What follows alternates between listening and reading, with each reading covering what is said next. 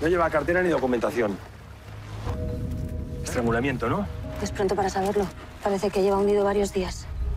Hemos encontrado este teléfono móvil. Que lo revisen los de tecnológica cuanto antes. Dime, Luna, querrás un muerto bien fresquito, ¿no?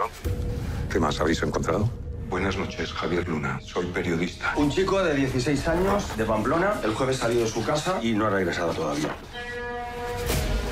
Tú tienes un desaparecido allí y un cadáver sin identificar aquí. Es deportista, aunque también le gusta bastante la juerga. Bueno, como muchos. A este más. Comisaria Ruiz, inspector Fuentes. Algo interesante que comentarnos. Y ha llegado el informe preliminar de la autopsia. Mira esto.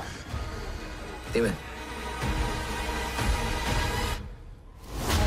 Conocí a un tío mayor y empezó a tener problemas. ¿Cómo haces para enterarte de todo antes de que pase? Si nos ayudamos, podemos sacar algo en claro los dos. Es un delirio místico que se parecen a ciertas experiencias religiosas. Entonces el asesino es creyente.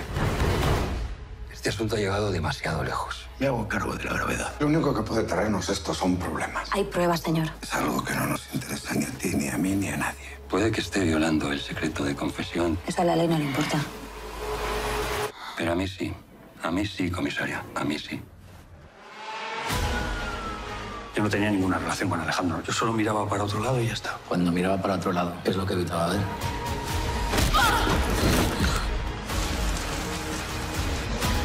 Esto no es algo puntual y no se está haciendo nada para pararlo.